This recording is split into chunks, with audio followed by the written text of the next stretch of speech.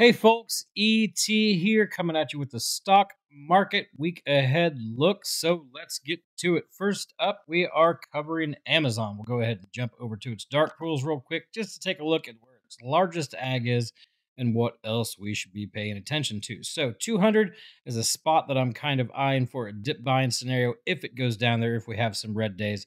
This 206 level right here around 207 really has uh, largest amount on it right now, obviously, and there's some gamma there that we want to take a look at as well to kind of match up. So, a couple of scenarios here on our ag. We have 205, right? 205 is a huge, huge, huge positive wall. Remember, green attract or green repels and red attracts. So, on our ag here, we have, let me go ahead and make sure that we're on the ag. Yep.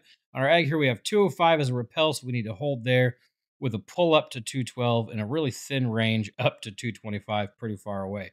We'll want to go ahead and take a look at our weekly here for our 12 6 just to see if we get the whole picture here. So 207.5, right around that dark pool. Going to be a point of contention. Biggest pull is 210, still showing that room up to 225 right there. But here's what I'm eyeing right here. So if we can't hold 207.5, we do have a decent pull to the 205 and then a little bit of repel here at 200. So that next large dark pool would really be a place that I would love to eye Amazon for a pull to down here because of this 205 on a red day and then a bounce back up. With the ag showing 205 as a bit of a repel or a very large repel, if we get down to the 200, what I'd like to see is maybe trim longs around 205 and then that, then at that 207.5 that was a repel actually on our weekly and then leave runners up to this 212.5 that is our look at amazon. Pretty quick and to the point very simple for us easy look eyeing some downside hopefully to get some longs make sure to recheck the data as we go along make sure these pulls still exist Next up is NVIDIA. Now we have a bunch of SIG prints here at 135.3. Mark that on your charts. Very important level for it. We'll go ahead and check its dark pools now as we go along. Interestingly enough, that aggregate is all the way up there at 147.65. So dip buys to that spot seem like a good idea as long as Gamma holds and Gamma agrees, which we're going to check right now. So let's go ahead and jump into our Gamma here for NVIDIA and see what we're looking at. The ag's a little bit wishy washy here. Biggest pull's actually down here at 125.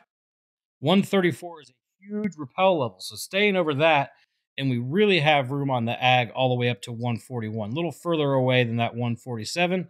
But let's go ahead and check our weekly here for 12 6 and see what it says for us as well. So, sort of the same thing here. 141 is a huge repel level, a good spot if we're long to trim. If we get over and stay over, we have tons of room up. 150 is the largest pull on our weekly, actually. So if we stay over 141 and we hold that, then that 147 dark pool might be a good target to start to trim more longs if we break this 141. All the way down here, we have a small pull at 1, 130, and this 134 here still makes sense as a place we need to hold. So ultimately, NVIDIA is pretty simple. We really want to hold 134 if we do that, then, we, then I can take some longs to 141 and trim, leave runners up to 150 if we get that nice bullish week. Last up is Mara. All right, with all of the crypto craze we've seen with Bitcoin nearing 100K, altcoins running everything else, good idea to keep an eye on the crypto tickers. Mara had a nice run there in the end of the week last week. And taking a look at our largest ag, it's around 2550. Very important. We've got another massive 19. No SIG prints to mark here for that, but keep an eye. We're right around this price area right here at the moment. So I like to see the further we get away from our largest ag, the more I want to take price down to it. Let's go ahead and check our gamma on it though and see what all of that looks like as we go along. So going through our gamma here, pretty simple. Huge repel at 26, so sort of matches that 2550 we saw for that dark pool. Huge repel for our ag at 26. So price gets down to 26. We're right around 27, 28 right now. Then that's a good idea to take a look for potential long with a really big pull up to 30 and then a 32 there. But let's check our weekly real quick just to see what it says for us. Weekly has a little bit of a different picture.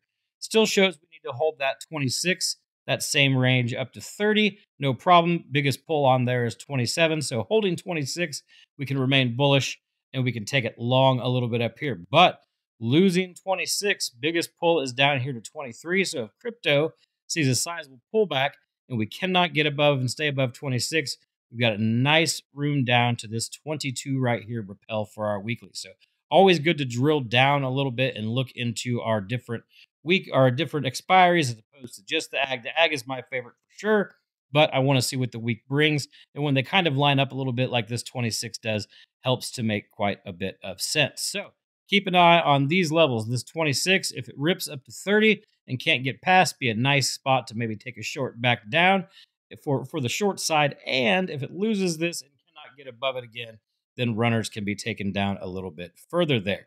Plain and simple there. Look for Mara. Everybody have a good week. Stay safe out there and go get that Oprah.